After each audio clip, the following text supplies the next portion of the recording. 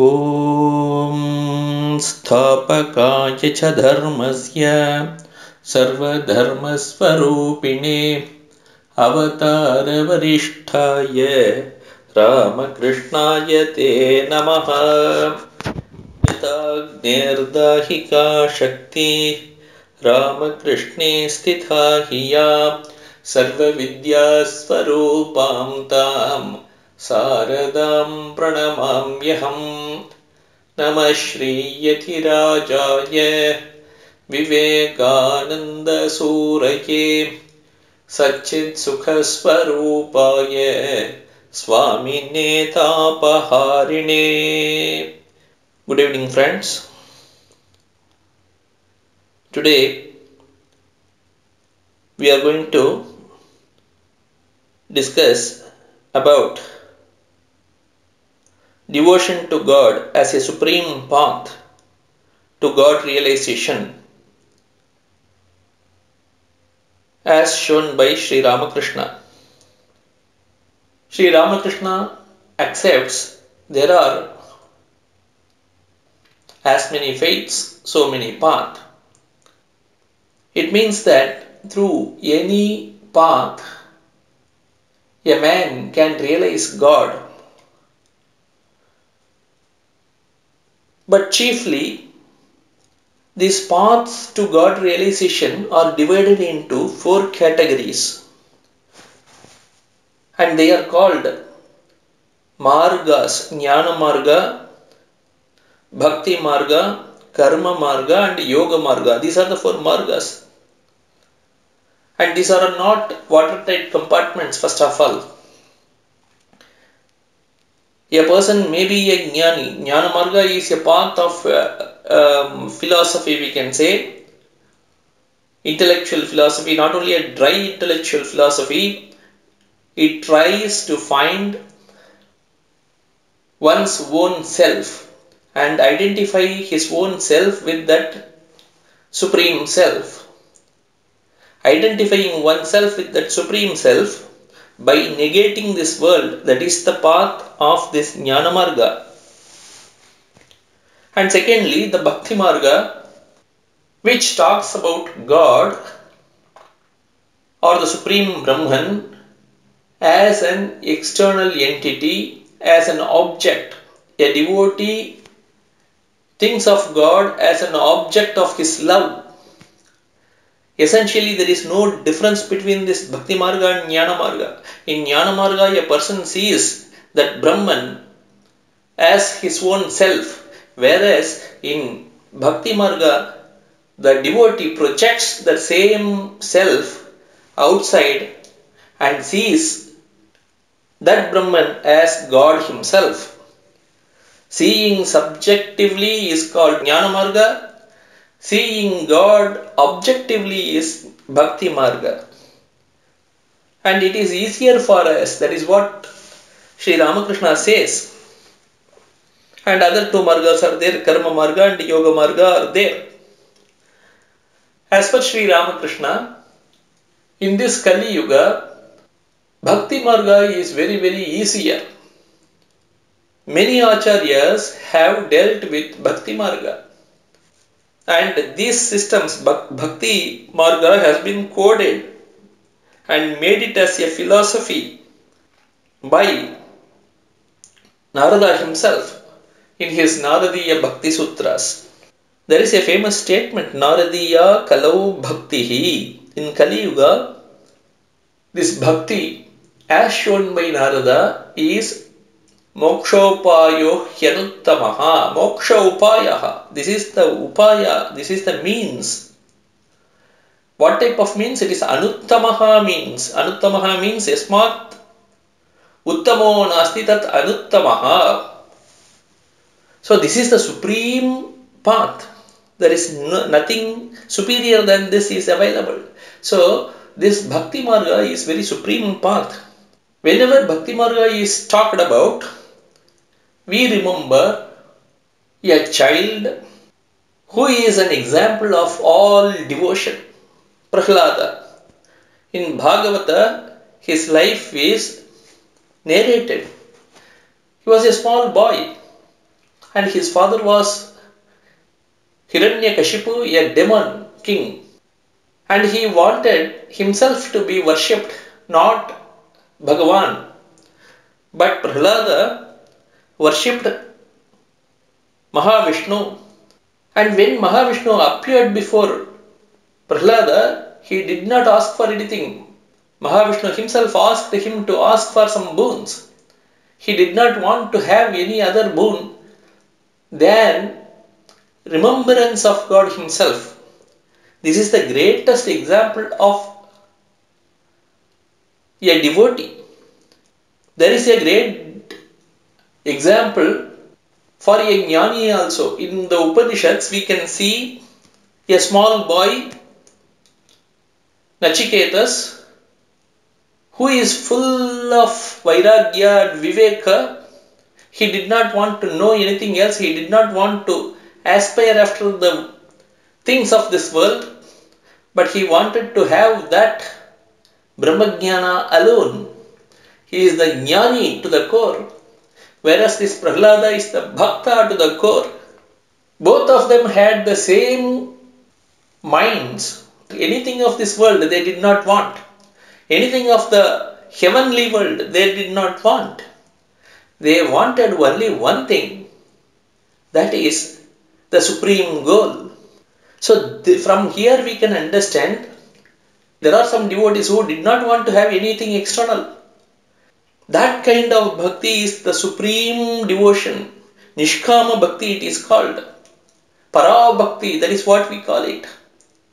Whereas there is something else also, some other kind of devotion, devotion of the ordinary people, which is called Sakama bhakti. Ordinary people want many things. They impose their demands on God. I want this, I want that. So many demands is a kind of trade they do with God.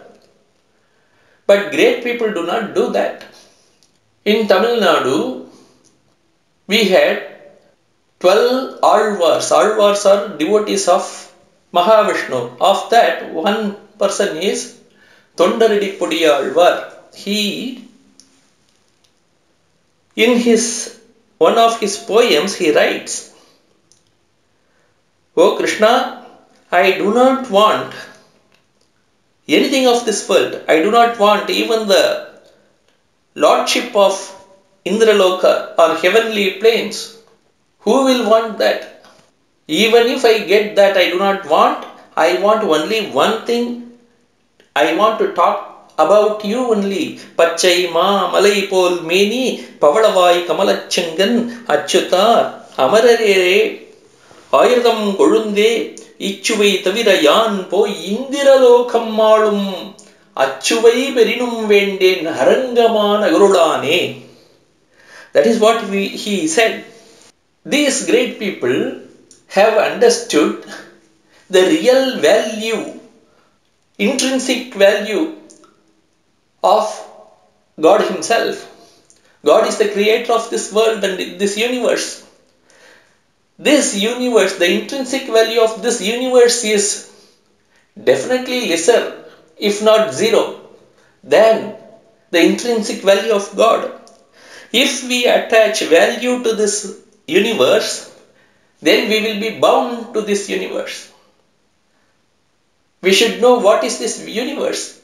Therefore, only we, in Jnana Yoga they say Viveka. Viveka is a kind of discriminating intellect. It will, that intellect will be applied towards the things of this world. A person with good intellect will research things of the world. Whether the things of the world are permanent or not, he will try to find out. In this world, nothing is permanent. That he will come to a conclusion. Then he will go to his guru to find out what is that which is permanent. By knowing which he can know everything else, he will try to go to his guru.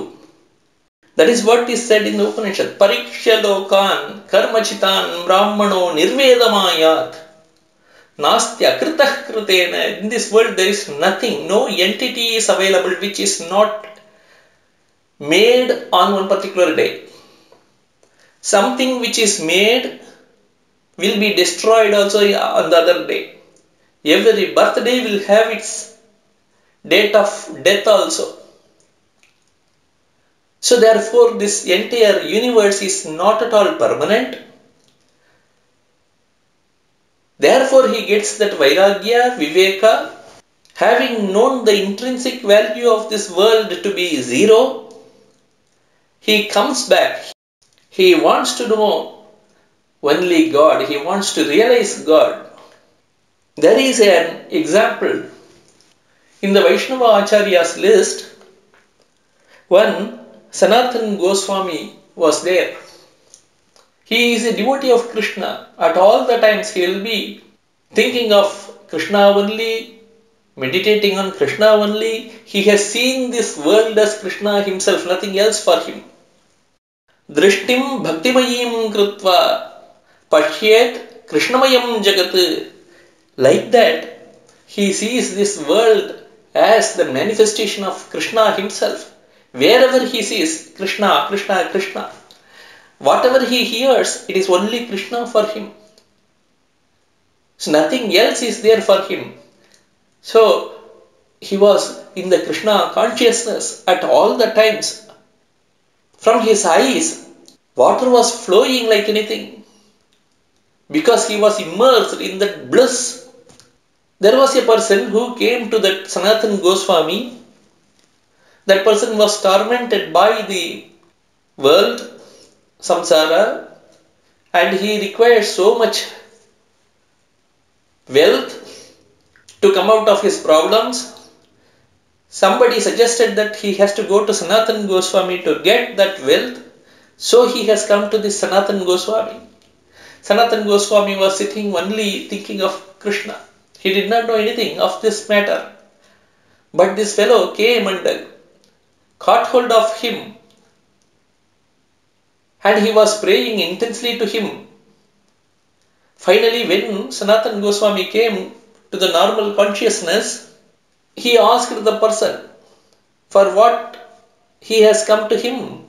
To that, that person said about his uh, worldly torments and he begged him to give him some wealth so that he can successfully run his family.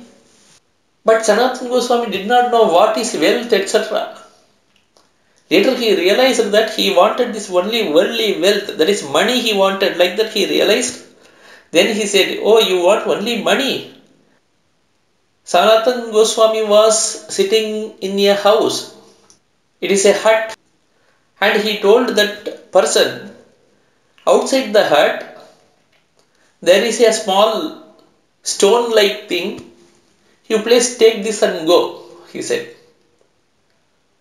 This person was a little bit worried. He did not know. He says, Sir, I want to have lot of wealth, but you are telling me to take this uh, stone and go. What is this? He asked. Then Sanatan Goswami said, That is called sparshamani. It touches stone.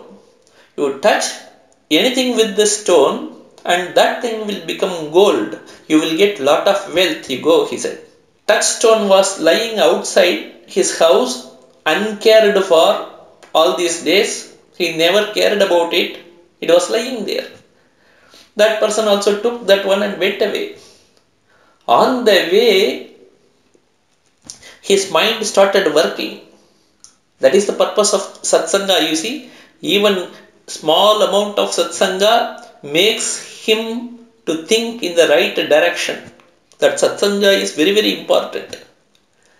He thinks what the Sanatan Goswami was doing, he was simply crying, crying in bliss, he was in Ananda. He did not even care about this touchstone. Why he did not care about this touchstone? There should be some wealth grand enough to think that this touchstone is a futile thing. He has thrown away this touchstone. So there should be a grand, grand, grand, really grand wealth should be there. Like that, his mind started working. He came back to Sanatan Goswami and he asked for that. And Sanatan Goswami gives him Krishna Upadesha. So that is the great thing. God is greater than anything else of this world. The same thing is said in Chandogya Upanishad. That same Atma or Paramatma, Pratyagatma, which we call it, that is available within our own selves. Nihitam guhayam, that is said, isn't it? Tamakratuh pashyati. Vitashokah dhatu prasadat mahimanam atmanaham. So that Atma is Nihitam guhayam, it is there inside everybody. Chandogya Upanishad says people are walking from here to there, this side to that side, everywhere they go and come. They did not know that under the, their feet a great wealth, fortune is there. They did not know. And these people are walking along this path. In the same way, we also every day go to our own Atman and come back without knowing that there is Atman inside us. यथा हिरण्यनिधिं निहितं अक्षेत्रज्ञाः उपरि उपरि सञ्चरन्तः न विन्देयुः So upari upari sancharantaha, they walk left, right, center, everywhere. Akshetrajnaha, what is there in the uh, earth, they did not know.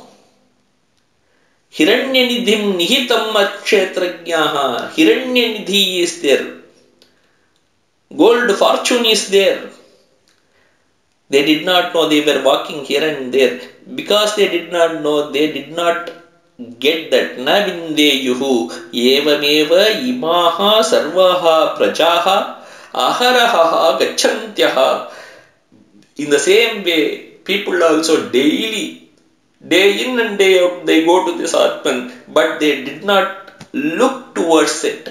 Why? Because their vision is always external. They do not see what is there in because their vision is external, they catch this ephemeral world only. They want this ephemeral, they see, they they perceive this ephemeral world only. Ephemeral worlds are not real. Therefore, it is said here, Anrutena hi pratyudaha. Anruta. It is not real. So, in the same way, to attain to that God, we also should turn ourselves from this ephemeral world. That is what was said in the Kathopanishad, Avrutta Chakshahu, like that. And to catch that God, we have to give this devotion to Him. Devotion is the best way, bhakti is the best way to catch that. Sri Ramakrishna gives one example here. To catch fish, we throw the bait and by the order of the bait, fish comes to it and eats it and it is caught. In the same way, to catch this God, the bait is the devotion. As grand is this devotion, as deep is your devotion, so easy for God to come to us. There are three types of attractions, Sri Ramakrishna says. If these three kinds of attractions are put together, joined together, then God will come definitely. Wife's attraction for husband, that is the primary attraction. Then mother's love for her child. And worldly man's attraction for the things of the world if these three kinds of attractions are joined together towards God, then God cannot hide himself any longer. That is called bhakti. In Jnana a person requires to do the vichara always. He has to be so careful. He cannot be like an ordinary person. He cannot allow the everyday life around him to impact, give an impact on himself. He has to be very, very careful.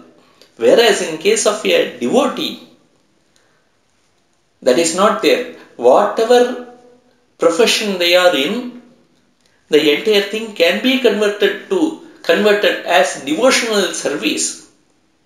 There are so many examples.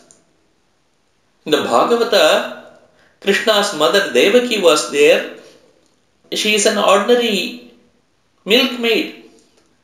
But because of her own devotion, she could capture Krishna. She could beat Krishna. She could feed Krishna. Everything she can do. One interesting story in Bhagavata is there. His name is, one person's name is Dadhibandaha. He is a playmate of Krishna. He somehow knew Krishna's greatness. He was playing here and there, here and there. Devaki was searching for Krishna and he provided some secret place for Krishna to hide.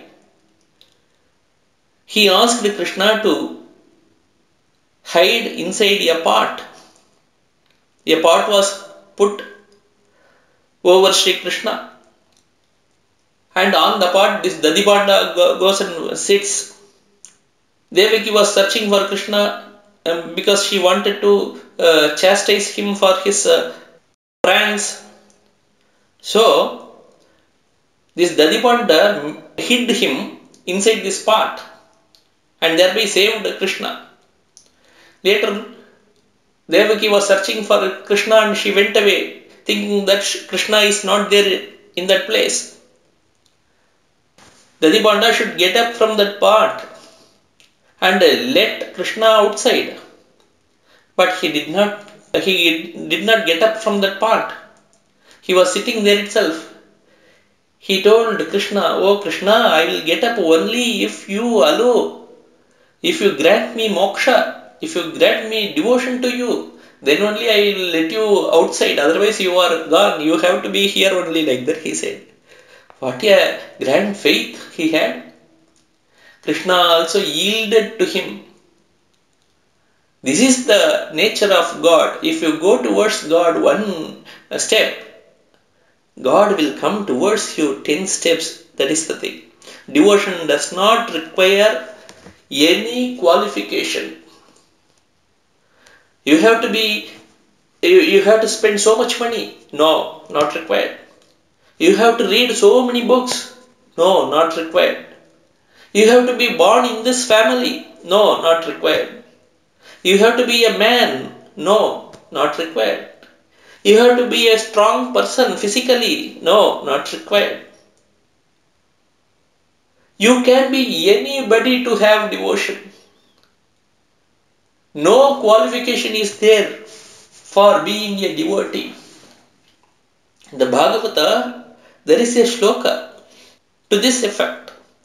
It summarizes different types of devotees and shows all of them are very, very, very ordinary people, but because of their devotion, they became very great. In Ramayana, we see a boatman who takes Sri Rama across the river Ganga. His name is Guha. He is a Vyadha, he is a hunter, professional hunter himself. He hunts and eats. What kind of devotion he had for Rama? Rama could count him as one of his brothers. In Bhagavata, we see Dhruva. Dhruva is a very, very young lad, maybe of uh, 6 years old. So even age is not a qualification. He was a great devotee. He became a devotee of Krishna, uh, Mahavishnu and he got boons directly from him. In the Bhagavata itself we see Gajendra. Gajendra was elephant. And when it was caught by a crocodile in the waters, it could not come out. At long last, it called upon Sri Hari and he also came to save him. Even a human body is not required to be a devotee. That is what is shown here. There was one lady in the Bhagavata, very old lady. She could not even stand. He had hunchback, very old lady, but she was daily giving sandalwood paste to Krishna. So even beauty or youth is not a qualification for being a devotee. We know about Sudama, a friend of Sri Krishna, who came to Sri Krishna with only a puffed rice to be offered to him. Very poor he was, but still he got the devotion to Sri Krishna. So, wealth is not a qualification for being a devotee. Vidura was there. He is a son of, of a very ordinary woman. Duryodhana wanted Krishna to come to his palace, but Krishna did not go there. He preferred to stay in the hut of this Vidura. Vidura also, because of the exuberance of devotion, he wanted to give offer bananas to Krishna. He peeled the peels and threw out the banana and gave the peels to Krishna. He did not know what he was doing in his devotion. Krishna also happily accepted those peels and ate them off. So, therefore, the birth is not a qualification for being a devotee. Kamsa's father was Ugrasena. Sena means army, Ugra means powerful army. Ugrasena by name, he, he was in his name only Ugrasena, but he was not powerful, he was powerless. He was put behind the bars by Kamsa himself, his own son.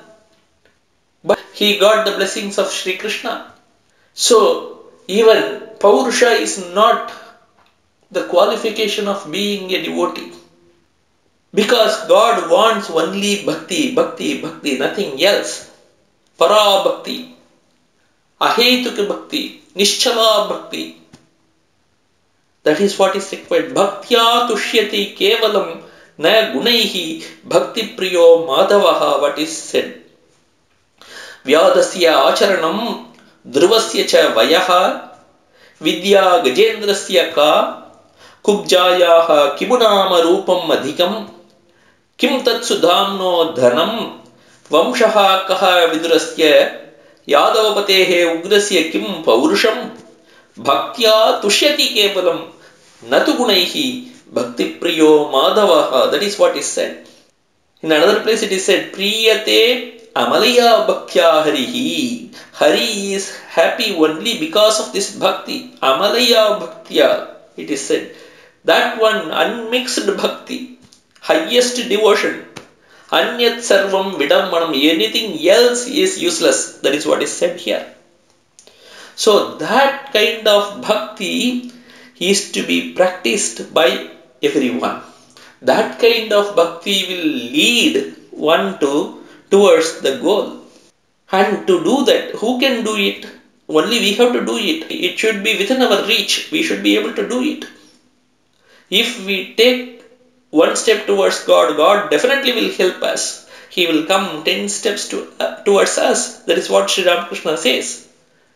Something is preventing us from going towards Him. What is that preventing us to go towards Him?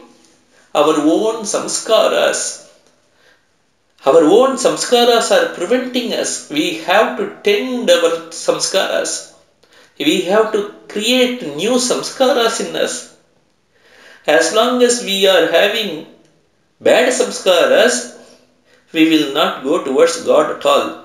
Sri Krishna himself says that Namam dushkritino mudhaha prapadyante naradhamaha. Na mam prapadyante. They do not come towards me, he says. Why? Mayaya apahritanyanaha.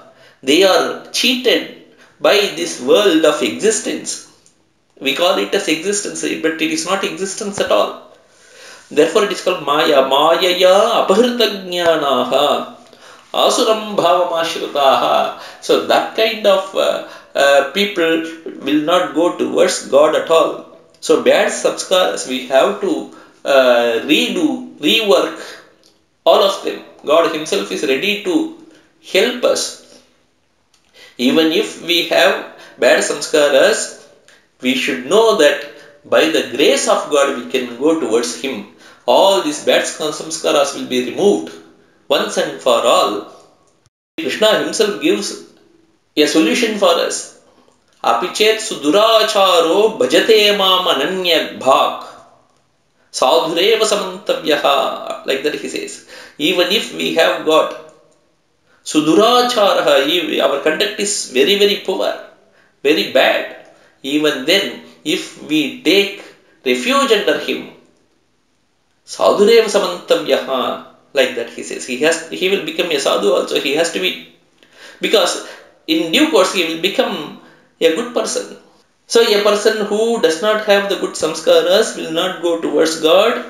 On the other hand, a person who has got sukruti, good samskaras, they will go and worship God. Chaturvidhaha bhajante mam janaha sukritino arjuna.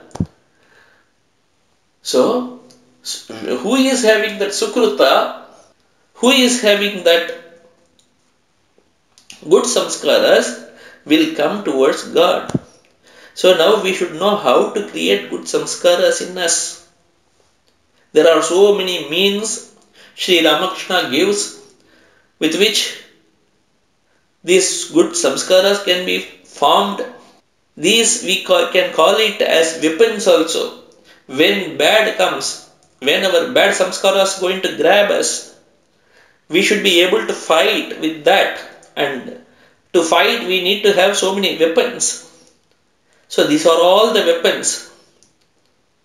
The first means which he gives is be detached be detached from this world. Be detached means um, not being without caring for this world.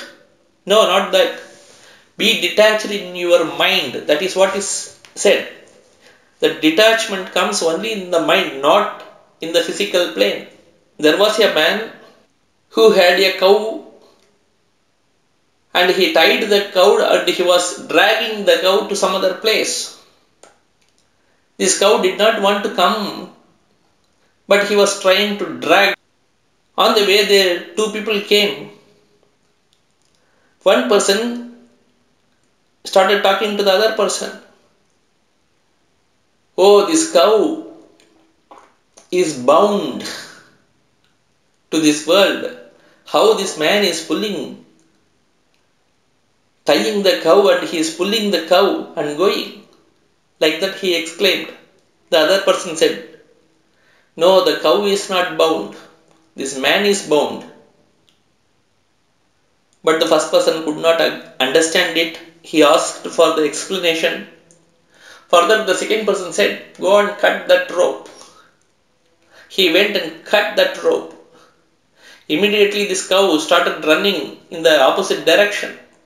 Chasing that cow, this man also ran there is a invisible link between the cow and the person which is pulling him towards the cow.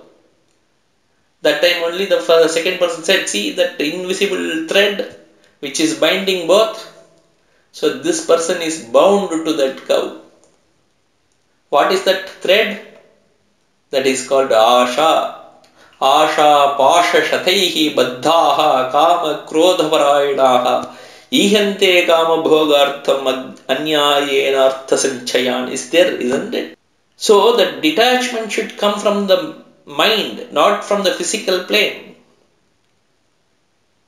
In the Narada Bhakti Sutra it is said, Tattu Vishayatyagat. So when you, uh, that Vishayatyaga means when you renounce these uh, things of the world from your mind. That is the meaning of it. To renounce this from the mind, Viveka is required. The first step for being detached is to discriminate between the real and the unreal. So, discrimination is very, very important. Anything that takes one towards the goal, towards God, that is to be taken. Anything that deviates oneself from God is to be shunned. That is the second means. The third means is do all your duty as worship to God.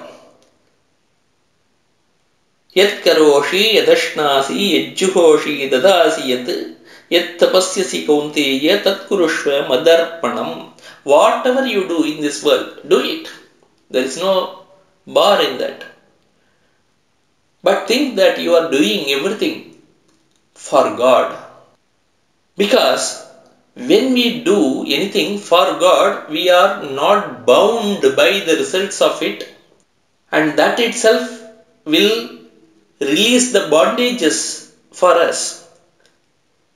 When we perform any action for God, the action does not bind us, otherwise, the actions will bind us. That is what is said. When you perform any action for God, you are not bound. So that is one of the weapons we have powerful weapons. We cannot run away from home. We have to do all our works. How to do that work without being bound? So, this is the way. Do all the works and offer everything to God. The other next weapon is practice of japa, dhyana, kirtana, doing bhajans. All these things are great help. Krishna himself says, Naham vasami vaikunte na yogi hridayeravu Madbhaktaha itra gayanti tatra tishtami narada, like that. So wherever devotees are singing the name of God, there God Himself comes and stands and dances to the tunes of the devotee. Devotees can always think of those bhajan songs and relate oneself to God anytime at any place and the next, next weapon we may, we may have is this surrendering. Self-surrender. Self-surrendering to God is very, very important. We have to do that Sharanagati. There are two types of Sharanagatis. Sri Ramakrishna talks about in his gospel. One is like monkey and another thing, another type of Sharanagati like a cat. Baby monkey tightly hugs his mother. Wherever mother goes, it also goes. Like that, devotee also should hold on to God with all his might. That is the, first type of self surrender. The second type is this cat. Baby cat does not go anywhere. This mother cat takes it and puts somewhere else and it lies there itself. It does not go away anywhere. Suppose if any discomfort comes, any danger comes, it simply shouts mew mew. Immediately from wherever it is, the mother cat comes and saves it. So that kind of surrender is also expected. In this present days, probably we can have both types of Sharanagati. We can ask we can be at the mercy of God and we can hold on to God also. And the next one is called a prarthana or prayer. Prayers can do a lot. Prayers bring down the blessings of God immediately. Another one weapon to modify the samskaras is this satsanga meeting sadhus and being with them is a great help for us. Tad labhyate api tat kripaya eva. That is what is said in Narada Bhakti Sutra. If any person gets the sadhu sangha, that is also because of the blessings of God. In Vivek Chudamani it is said, Manushyatvam, Mumukshutvam, Mahapurusha Samshrayaha. Like that. Durlabham Trayamevaitat Devanugraha Hetukam. These three things are because of the um, grace of God a person gets. What are they? Manushyatvam, Mumukshutvam, Mahapurusha Samshrayaha, like that. That Mahapurusha Samshraya is called the Satsanga. That Satsanga one gets because of the grace of God. And always talk about God, that is another thing. Always hear about Him. Think about Him, don't think anything else. That was the ultimate thing. When Krishna disappeared from them, these gopis were crying for him.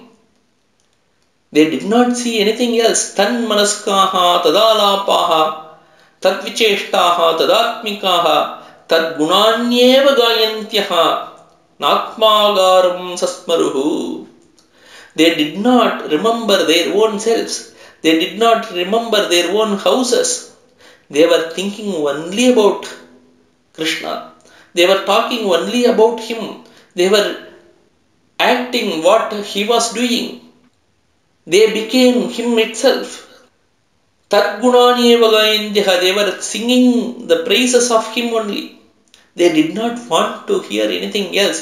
When they forget about him, it becomes a great pain for them. Tad visparane parama vyakulata iti. They said in Narada Bhakti Sutra. In the same way, they all, these gopis were thinking only about him, him, him. Like that, this is also one of the ways. In fact, bhakti or devotion, it is the path that is means as well as the goal also. By practicing bhakti, what we will get? We will get bhakti only. In fact, in the case of jnana, by pra practicing jnana marga, what one will get? he will get mukti. So the path that is means as well as the end goal are different. Whereas in the case of Bhakti Marga, Bhakti is the means also, the goal also. So when we practice this devotion, we have already attained the goal also. So this Bhakti Marga is the supreme Marga, supreme path for self-realization, for the realization of God. I thank you all for giving me this uh, opportunity talk, to talk to you all about this. Thank you very much. ॐ शान्तिश्शान्तिश्शान्तिः हरिः ॐ तत्सत् श्रीरामकृष्णार्पणमस्तु।